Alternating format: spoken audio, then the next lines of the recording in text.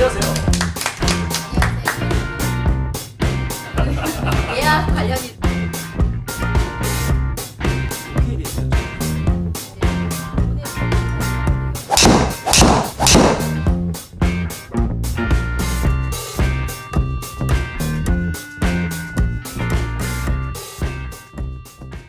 근데 그, 그 나이 보는 거는 어떻게 고- 공부를 해요? 본인들이 맨날 치나요? 밤마다? 제일 어, 큰 음. 거는 이제 예. 감각적인 부분을 많이 이제 하고요. 예. 가장 중요한 거는 나이가 많은 데에서도 힘 조절로 인해서 꺾이는 각이 다 달라져요. 그렇죠, 그렇죠. 음. 그건 이제 경험을 통해서 거리감을 먼저 익혀주고 그 거리감에 맞게끔 나이를 조금 더 보고 적게 음. 보고 여기에서 조금 더 디테일하게 들어간다면은 잔디의 기울기로 따져서 조금 덜 탈 건지 덜 탈 건지 어. 음. 많이 타는지 적게 타는지는 이제 더 판단할 수가 있고요.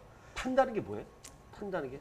아무래도 경사가 홀컵적으로 이제 잔디가 아. 누워 있으면 지형을 타는 거죠, 그렇죠. 이렇게. 그 것도 잔디결에? 따라서도 난 모르는데. 아 이게. 누운 것도 생각합니까? 네, 야. 누운 것도. 그건 이제 홀컵 주변에서의 누워 누워 있는 이제 방향을 잘 보고 나중에 공이 힘이 없으면은 그 방향 쪽으로 잘 굴러가거든요. 그래서 누워 있는 방향 자체도 이제 많이 보는데 뭐 이거는 이제 프로들이 시합할 때나 이런 데에서 좀 체크하는 부분이고 음. 아마추어 분들한테는 뭐 그런 부분까지는 굳이 체크 음. 안 하셔도 아니 얘기가 나온 김에 네. 엑스페론 네. 음. 저희 프로그램을 이제 후원해 주시고 제작하시는 회사가 엑스페론이잖아요. 네, 네. 엑스페론. 아직까지 엑스페론 얘기 한 번도 안 해가지고. 아, 진짜 좋더라고요. 그래서 이 아까 이제 라이 얘기도 나오고 퍼터 얘기도 나왔으니까 네. 이 엑스페론 골프가 네. 골프공이 특별하잖아요. 여기 어. 보면 특별하게 이렇게 어, 라인이 따로 돼 있어요. 나중에 네. 이거 사진으로 한번 또 다시 보여드릴 텐데 음. 이렇게 특별하게 돼 있는 이유가 있죠. 아, 가장 예, 예, 중요한 예. 부분인데요. 예, 엑스페론 볼 자체는 밸런스 자체를 어떻게 보면 잡아놓은 볼이에요. 예, 음. 그렇기 때문에 지금 놓여 있는 그 선 방향대로 그대로 쳐주시게 되면은 네. 아무래도 방향 자체가 더 똑바로 굴러가는 부분이 되니까. 아, 그러면 다른 아, 볼은 선- 똑바로 안 굴러간다는 거 아니에요? 아니요, 아니요, 그렇지는 않죠. 미리 그거를 밸런스를 잡아놓기 때문에 아. 다른 볼 같은 경우에는 그어져 있는 선이 밸런스에 맞춰서 그어져 있는 게 아니라 아니에요? 예, 무작위로 그어져 아, 있는 그래요? 부분이 나와요. 오. 그래서 그거를 좀 편의성을 더 쉽게 접근하기 위해서 미리 그어 놓고요. 나중에 이제 이거 뭐 pro shop이나 이런 데에서 이제 많이 보면은요. 엑스페론 볼 파는 데 가보시면은 공이 떠 있는 그런 이제 소금물이라든지 뭐 이런 부분에서 이제 공을 띄워놓는 약품 네. 처리로 되어 있는데 엑스페론 볼을 담아놓은 데가 있어요. 예, 예, 예, 예. 그때 딱 보시면은 전부 다 저 선이 위쪽을 향해서 떠 있어요. 어? 그만큼 예, 한 방향으로만 그 선을 다 일일이 다 그어놓고 출시하는 볼이라고 보시면 그러니까 돼요. 쉽게 이해하면은 어, 어. 우리가 이제 얘네가 겹이 있잖아요, 프로님. 네네. 음. 그 뭐- 겹 겹이 만들 때에 어, 기존의 공들은 이제 겹을 하면서 약간의 쏠림이 있는 거죠. 음. 네. 약간씩은. 그렇죠. 아무래도 무게 중심이. 네, 우리 엑스, 예, 어, 엑스페론. 같은 경우는 그게 밸런스 말씀하셨는데 네. 밸런스가 맞춰져 이- 있어서 그러니까 만약에 약간 쏠렸다 하더라도 어차피 회전을 시켜보면 그 무게 중심이 쏠린 쪽으로 쏠려서 그, 그렇죠. 그 선을 영향을. 받죠. 그렇죠. 네, 네. 골프를 완벽하게 만들려면 완벽하게 무게 중심이 0.00m 만들려면 수십만 원이 든대요. 비효율적이잖아요. 네.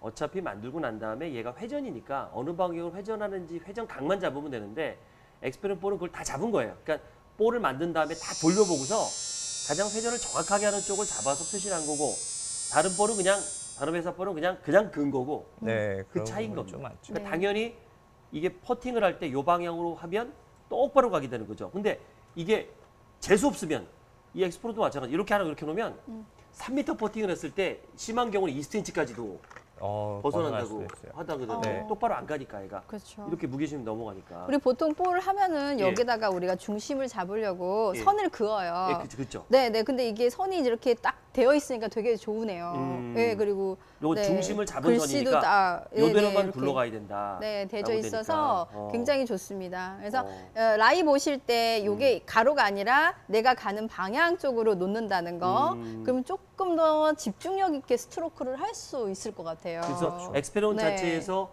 그 95타 내외, 그러니까 그런 분들 상대로 이거 실험을 해봤잖아요. 네. 음. 볼만 바꿨는데 다섯 타를 줄였어요. 어. 그러면 타당 5만 원, 아니, 타당 만 원이 너무 중요하죠. 네, 볼감 이상이네. 그렇죠. 배판이면 어떻게 해요? 배판이면. 그러니까 배판 나오잖아. 배판.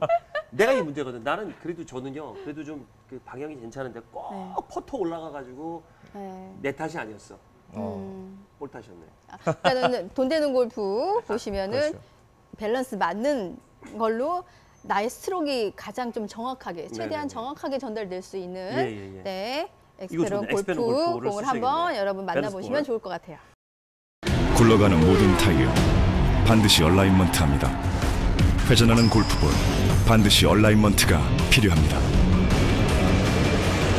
Technology Inside 엑스페론 alignment golf ball 엑스페론